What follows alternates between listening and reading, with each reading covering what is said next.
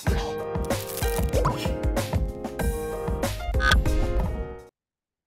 everyone, welcome to our YouTube channel, My Project Ideas. Today we are going to make a C++ project on the topic College Management System.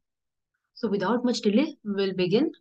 So let's look at the requirements of this project. You will be requiring an IDE or an integrated development environment for running and compiling the source code. Secondly, Code Blocks or VS Code or any other text editor is suggested for a better experience. And thirdly, any operating system. It may be Windows 10 or any other latest version. Now we'll be moving to the code part. So here's the code. In the first four lines, you can see we have included all the header files. Then we have the standard line that is using namespace std. Then we have a function named int main, where the initial mark is allotted to a subject through the initialization of the various variables. Then the name of the file in which database is stored is inputted, that is the example.txt file. And here in the loop, there is a loop which runs from i is equal to 0 to the getting line function from the example.txt file. So this basically counts the total number of lines in the file. So then we have a loop which runs from 1 to 6. Here it displays all the various operations that this code can do. Like available operations, adding new students, student login, faculty login, proctor login, admin view, exit. So you have to enter any option as per your choice. Then depending on your choice, you will be driven towards the particular segment and through that you will be driven towards the particular code. So if you move to the first statement, that is if you want to, the text one was add new students. So what are you going to do? You will be driven towards the example.txt file where the entire data of a single student is will be stored line by line. You have to enter your registration number. After entering your registration number, it asks you to enter your name. So while you enter your name correctly, then the your details are being stored to the file. Then it asks you to enter your proctor ID just to verify whether the person who is doing any kind of changes is authentic or not. Then we move to option 2 where it asks you to enter your registration number again. Again, the file will be opened. The example.txt file will be opened. In the registration number, after that, you have to enter your name, subject to one mark, subject to mark, and your proctor ID again. If whatever you have entered, the registration number is not found, it simply displays that no such registration number is found. Third option, this is used to view and add marks to the database of a student.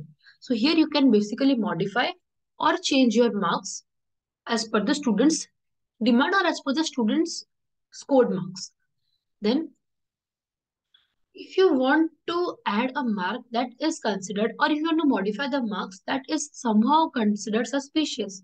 So basically it asks you warning you would need to add the mark details for all the students. So basically you would have been the proctor, the admin or the admin. Here it asks you to seek in file has been done according to the length of the data being inserted. It needs to adjust it accordingly for different lengths of data. Basically, on the different lengths of data, our database has to be adjusted. So we have to compare every subject marks with the marks which is inputted by the admin. Then in the next loop, you can see it's used to view the marks of a student. So whatever marks you have entered, that marks need to be rechecked or need to be shown to the student.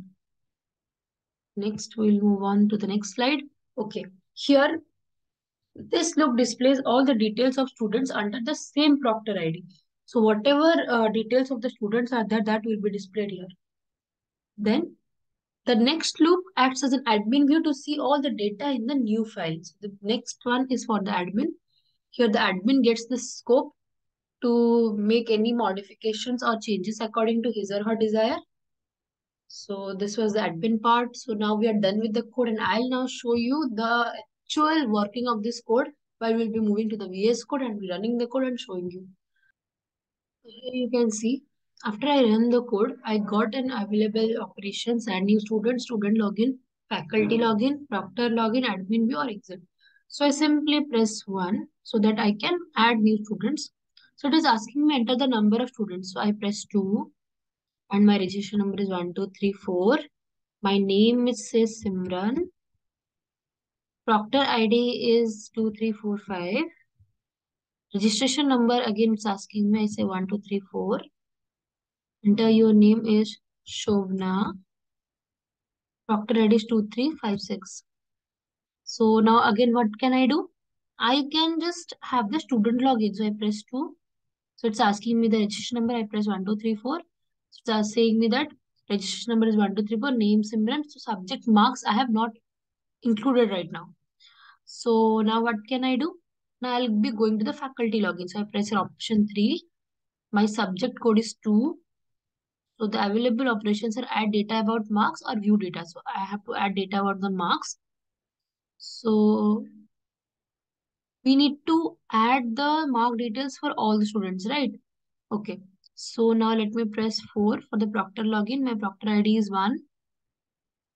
So it's saying me that this Proctor ID is not found. So let me just have the uh, this file, my text file. I just want to see.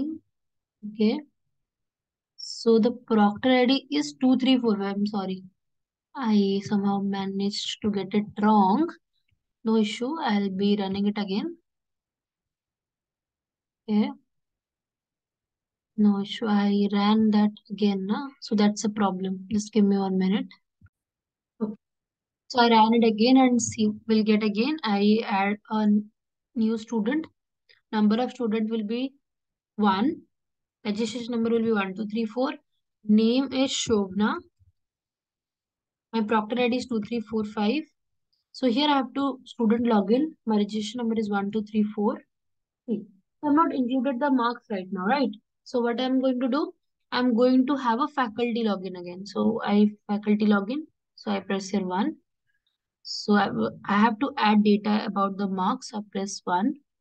So it's, it's saying me that you, you would need to add, add the mark details for all the students.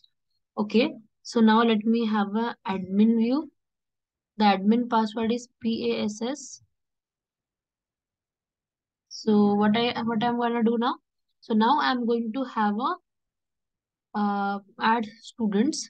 So number of students is again one. Registration number is five six seven eight. My name is say Tulip. Proctor ID is three four five six. So here it's saved already. Now I can just, I showed, showed you all the functions, right? So now I can just exit from this. Now I exited. So let me show you the example.txt file also. See, whatever we have inputted, whatever we gave it, stored here. Right? This is this is the proctor ID. These are the marks which I gave it, gave it zero, my name and my college ID. So I think you understood the working of this code. Subscribe to our channel for more interesting project ideas and stay tuned to this channel guys. Thank you and have a great day.